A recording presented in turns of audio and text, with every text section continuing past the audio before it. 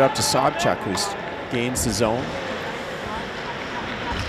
He's hard to take off the pocket. he makes a quick pass out front, and there they go. There go. The rampage on the power play.